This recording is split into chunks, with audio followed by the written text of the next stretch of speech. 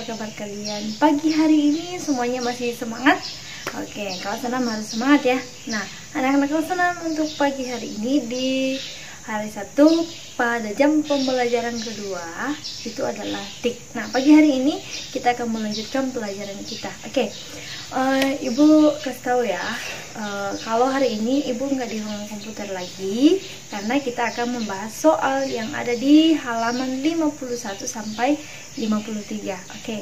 untuk pagi hari ini Ibu akan kasih uh, tugas sama kalian. Tugas kalian itu adalah di bagian kedua. Soal esai di situ ada lima nomor itu yang kalian kerjakan. Nah, nanti kita akan membahas bagian pertama yang pilihan ganda ya. Untuk prakteknya Hmm, mungkin nanti pertemuan berikutnya baru kita praktek lagi. Kita bahas soal dulu ya. Oke anak-anak kelas 6 di situ ada, sudah ada rangkuman materi dari materi kita tentang bab 3 ini yaitu fungsi statistika pada Excel ya. Tentunya kalian sudah tahu uh, karena kemarin Ibu sambil menjelaskan sambil mempraktekkan kemarin. Jadi kalau benar-benar kalian mengikuti videonya, video pembelajarannya pasti sudah paham ya.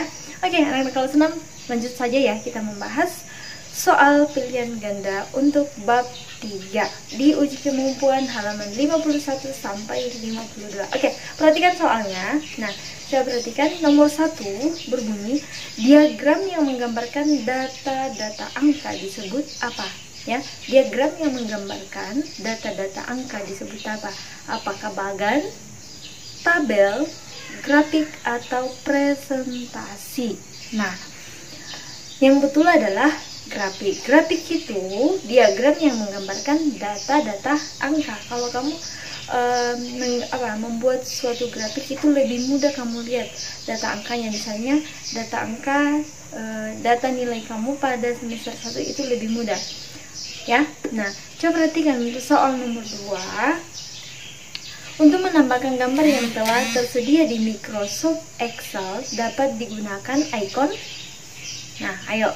Anak-anak kelas 6 ini uh, di pertemuan-pertemuan sebelumnya pun ibu sudah jelaskan ya bahwa pilihan untuk memasukkan gambar mau baik itu di Word uh, PowerPoint atau Excel itu ada dua ya. Pilihannya ada clip art atau picture nah kalau clip art itu uh, apa menyisipkan gambar ke dalam uh, Microsoft Excel dengan menggunakan gambar yang sudah disediakan oleh aplikasi tersebut. Nah, kalau picture itu berarti kita menyisipkan gambar sendiri yang kita buat atau yang kita uh, ambil sendiri ya. Nah, yang betul di situ adalah yang telah tersedia di Microsoft Excel. Ibu sudah katakan tadi bahwa clip art itu adalah uh, menyisipkan gambar dengan menggunakan gambar yang telah tersedia oleh Microsoft Excel. Jadi yang benar adalah bagian A.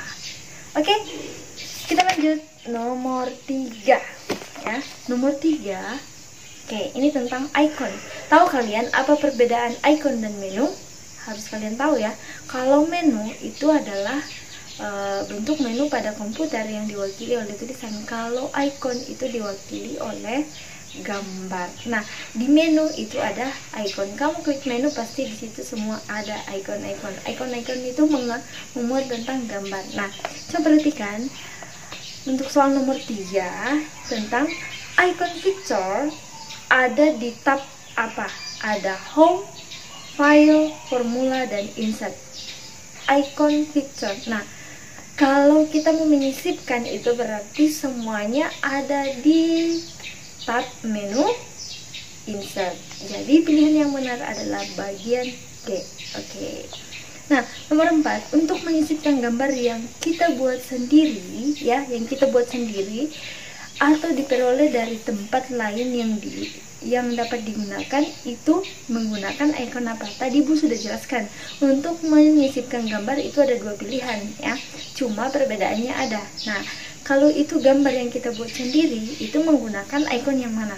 Apakah bagian A, B, C, atau D?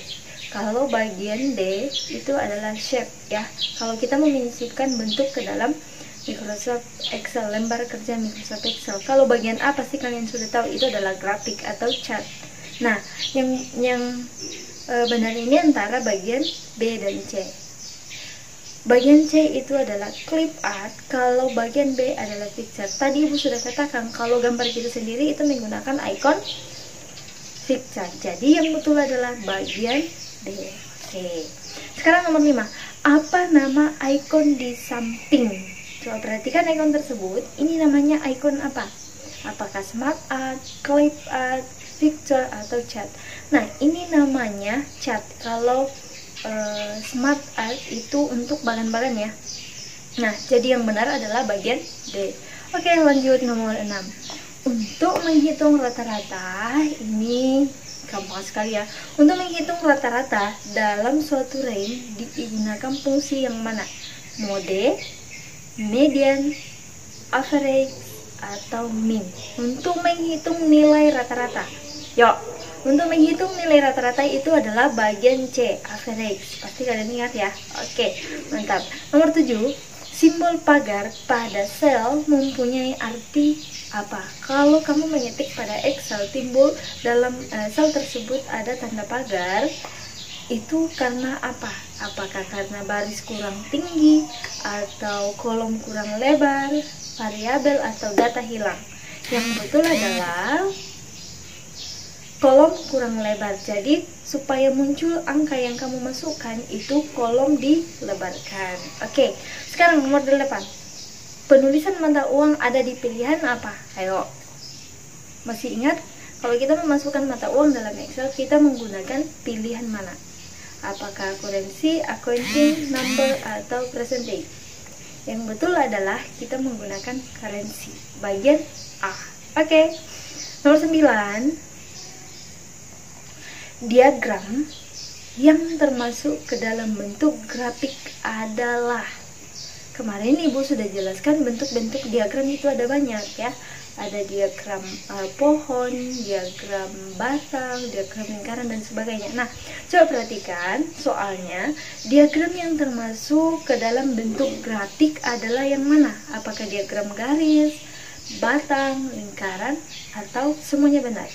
Nah, anak-anak kelas 6 ini uh, semua diagram garis batang lingkaran pohon uh, garis dan sebagainya. Kemarin itu termasuk semua ke dalam bentuk grafik jadi yang betul di sini adalah semuanya benar. Oke mantap. Nomor terakhir coba perhatikan.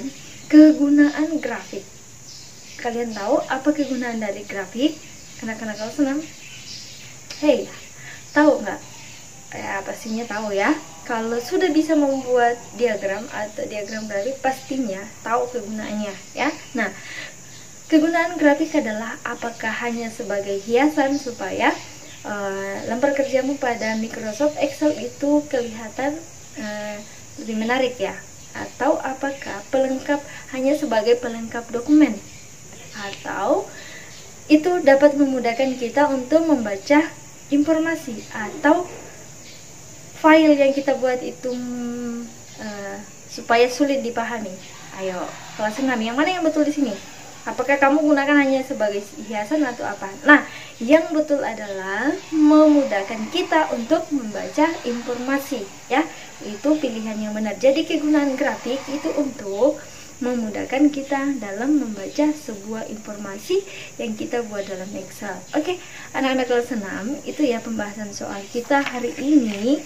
Kemudian Ibu uh, sedikit tekankan di sini uh, penggunaan fungsi ya dalam suatu range kamu harus tahu kalau sum itu berarti menghitung jumlah keseluruhan. Kemudian average itu untuk menghitung jumlah atau nilai rata-rata kemudian min itu menghitung nilai terkecil max itu menghitung nilai terbesar kemudian eh, modus itu atau mode mencari data yang paling banyak muncul dalam satu rank. Kemudian media mencari nilai tengah dari deretan nilai. Jadi diurutkan dulu baru kita mencari nilai tengah ya. Oke anak-anak kelas 6 sudah paham tentang uh, Microsoft Excel ya. Mengolah Microsoft Excel kemudian menyisipkan uh,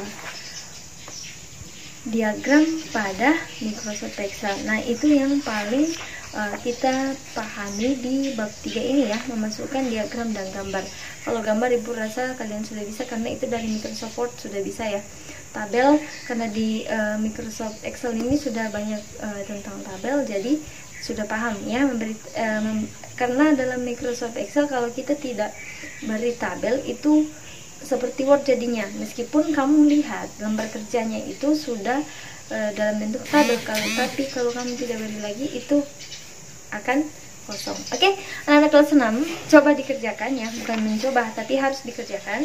Coba kerjakan tugasmu di halaman 53 5 nomor itu kerjakan di buku tugasmu dan kirimkan pagi hari ini ya. Oke okay? sekian dari untuk pagi hari ini. Ibu ucapkan selamat pagi tetap jaga kesehatan di rumah. Dadah